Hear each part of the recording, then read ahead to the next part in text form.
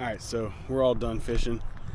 Um, caught a real good fish today, but caught a bunch of fish too, a bunch of different baits. But right now, we're going to talk about my kayak and some of the rigging that we've done in the off season. Um, a lot of this stuff is similar to what it was last year, but there are some new additions. The first is we're just gonna flip it around. Humminbird Mega Live.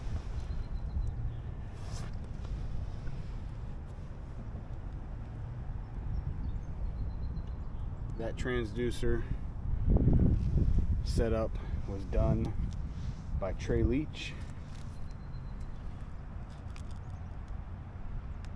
With the pole looking down view. And then it's running up to a Humminbird Solix 10.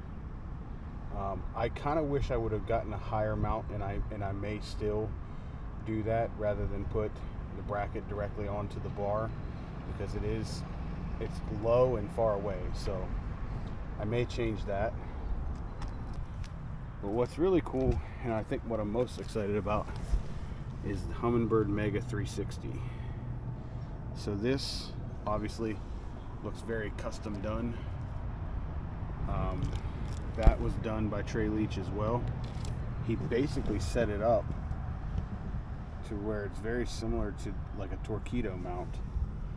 Um, and then the transducer is down underneath the bottom edge of the kayak.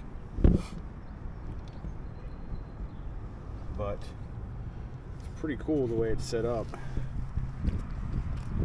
All the wiring is kind of hidden up underneath of these tracks and they run the whole length up to where they come out. I don't know if you can see that. They come out there and then they're zip tied across and then they run into the back of the unit. All in all, I'm pretty happy with the way it's set up and really looking forward to getting out there with the Humminbird 360 this year and finding that very important structure, finding those spots where maybe other people aren't going to be able to see because they're only running side imaging and they're sitting still. Um, I'm hoping that it helps me put some pieces of the puzzle together this year. So we're showing the bottom structure here. If you can see that right there, that's that's a bridge pier over to my left. That's a bridge pier over to my right. This is the corner of a bridge pier up in front of me and this is the corner of a bridge pier to the right of me. So to kind of give you an idea, that's the left bridge pier, bridge pier, bridge pier, bridge pier. So it's showing me basically everything that I need to see directly in front of me and a little bit off to the side, which is really nice. Um, having that type of technology for the river really makes it where you can kind of pinpoint your cast um, towards towards structure, towards you know whatever covers down there. Um, makes it really nice. All right, so you're seeing right now, it's basically shoreline beside me. There is a, a bridge pier over here, but this is real shallow. So that's the bridge pier directly over here. Um, what's in front of you is you're actually looking at some shrub brush. That's what these are right here. Um, and then this right here is the other bridge pier that is right over here. So you get a clear view of what's in front of you here, um, you know, showing you exactly what's there, which is really cool. And I really, I like the 360 for that reason. Um, more so than I feel like my 360 might be off a little bit. I might need to turn it back to the left. Um, but I like the 360 a little bit better for, you know, the, the kayak versus, you know, your side imaging. I, I would prefer to have 360 imaging over side imaging, in my opinion. Yeah, so that's the bridge pier to the right and the bridge pier to the left. I'm going to sit still for a second and see if it kind of, well, the wind's going to dictate that, but I'm going to sit as still as I can and see if it kind of starts showing a little bit more what's there. Um, and I, I haven't really tweaked the settings with this a whole lot. I'm just I'm still in the process of learning it, to be honest with you.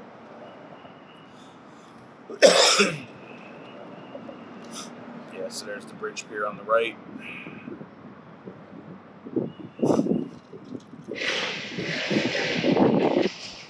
Let me put this back on Mega Live.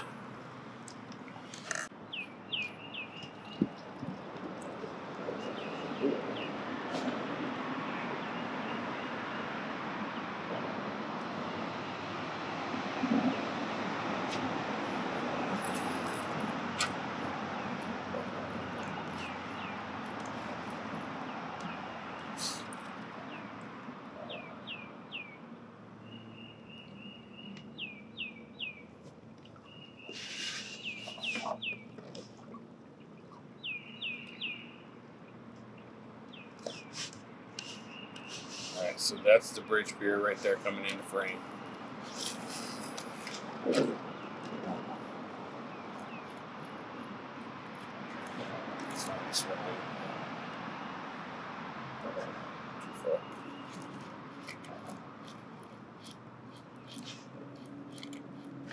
That one's a little bit more difficult because of the because the bridge pier was there. Um, that's a fish, right? You can tell that that's 100% a fish. Um, so if we were to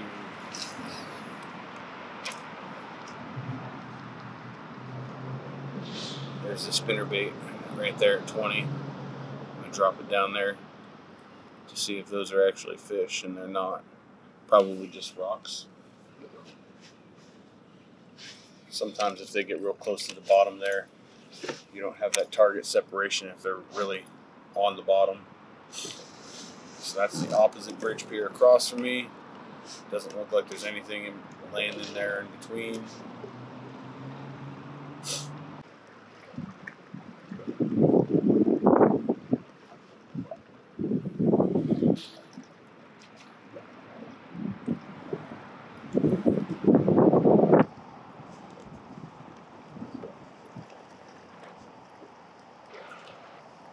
Okay.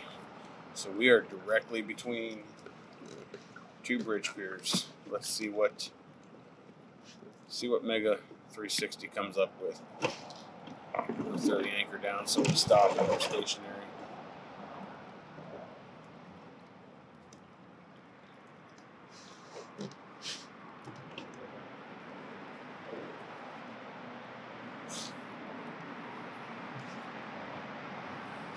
Alright, so that's the bridge pier to our left. And this is a rather rocky bottom right here in between these two bridge piers. So it's going to show that pretty significantly. Um, the bridge pier to the right is going to be right there.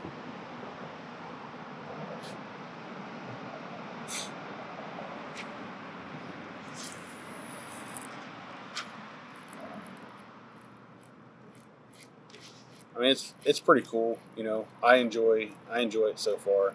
I think it's going to help me with finding stuff, especially on bigger water, um, narrowing stuff down.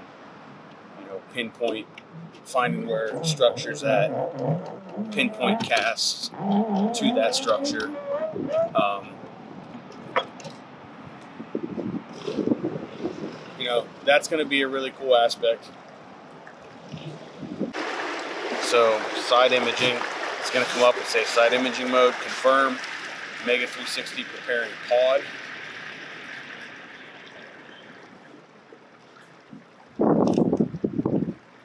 Okay, so now the pod's prepared, and we're going to cruise up here and, and do side imaging of of what's here, and it's mega side imaging, so it's you know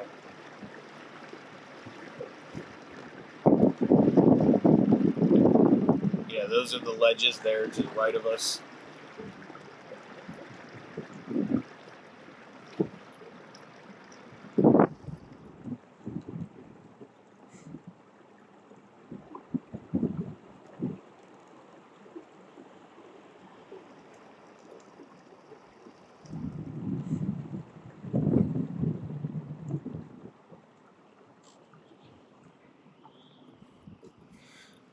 But see, this is the part about when you stop with with the mega side imaging, everything kind of gets elongated and blown out versus that high definition. Those are re- those are rock ledges, and these are still rock ledges, but now they're blown out and elongated.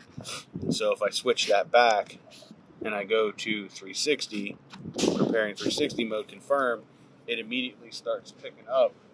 Immediately starts picking up um, the surrounding areas and will tell me, you know, what's here and what's not. So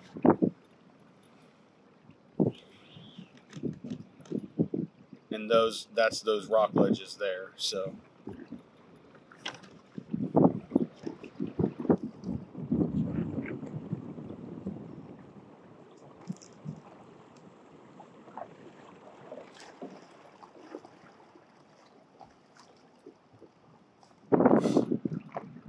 I had to lighten up that last clip and do some editing because of the glare. Um, I apologize for my dirty screen. I fish. I go out and I fish. So my kayak is never clean. My graph is never going to be clean unless it gets to the point where I just can't see it myself. Um, that's when I'll probably clean it. But um, I did have to edit a little bit there at that, that last clip to show the side imaging because it wasn't showing up.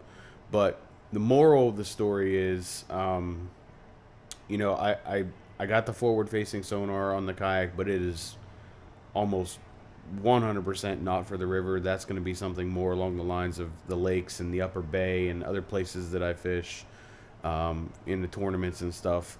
Um, but the Mega 360 imaging in higher water um, as well as you know sometimes throughout the year when you're fishing some of the deeper holes and stuff like that it's certainly going to be uh, something that, that i use. Um, but whenever i start primarily fishing the river like june through august i will more than likely remove all of the graphs and the um, and the the transducers because I just won't need them. It's going to be more, you know, anybody that fishes the river knows that fishing the river is about reading current and doing that kind of stuff. I highly doubt that I will use the the electronics um, basically after June until the fall. Really, um, once the fall comes, then I'll I'll put them back on because that's when I'll start fishing more lakes and stuff and that kind of thing. So um, and fishing uh, wintering holes on the river. That that will be helpful. So, but yeah, I appreciate you guys tuning in, watching this. If you have any questions about the setup, please put them in the comments, um, and I get you the answer or put you in touch with somebody who knows the answer. So, again, thank you, appreciate it.